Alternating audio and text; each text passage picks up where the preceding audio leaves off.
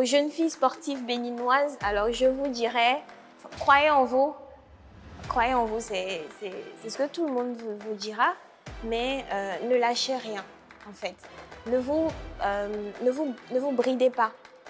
Écoutez, écoutez votre, euh, votre cœur, écoutez vos passions et surtout laissez-vous oser, en fait, voilà.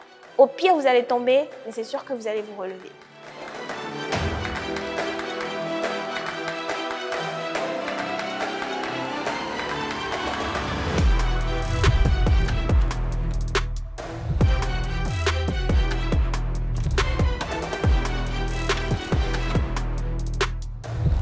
Suis Océane Gagnero, euh, de nationalité béninoise. Aujourd'hui, je, vis à l'étranger.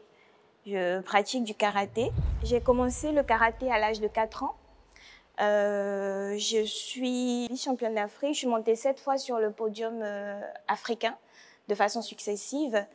Et je suis allée du côté de, l'Hexagone pour normalement les Jeux olympiques de, Tokyo 2020 qui ont été décalés pour 2021. Après, il y a, il y a champion du Bénin, champion de l'Afrique de, de l'Ouest et puis euh, j'ai réussi à faire 9e au championnat du monde aussi.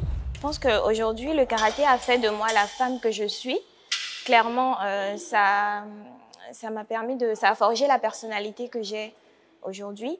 Et euh, bah, c'est grâce au karaté que j'ai pu... Enfin, ça, ça, a créé, ça a nourri en moi des rêves, des ambitions, euh, comme les Jeux olympiques euh, voilà, et ben aujourd'hui je suis à l'étranger, ça me permet de, de, voyager et même humainement de rencontrer, de faire des rencontres extraordinaires. Et vraiment c'est carrément un, mode de vie en fait. Le sport et les études sont, sont compatibles. Je pense que tout est une question d'organisation, de, de, discipline et de, de motivation. Euh, moi j'ai toujours pu euh, allier sport et études. J'ai pu faire euh, ma licence, mon mon, master ici au Bénin et euh, même de l'autre côté à l'étranger, j'arrive je, quand même aussi à, à concilier euh, sport et études.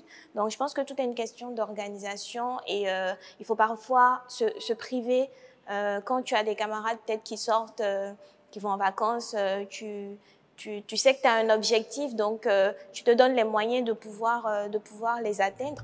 Aux jeunes filles sportives béninoises, alors je vous dirais, croyez en vous, croyez en vous, c'est ce que tout le monde vous, dira, mais euh, ne lâchez rien, en fait. Ne vous, euh, ne vous, ne vous bridez pas. Écoutez, écoutez votre, euh, votre cœur, écoutez vos passions et surtout laissez-vous oser, en fait, voilà. Au pire, vous allez tomber, mais c'est sûr que vous allez vous relever.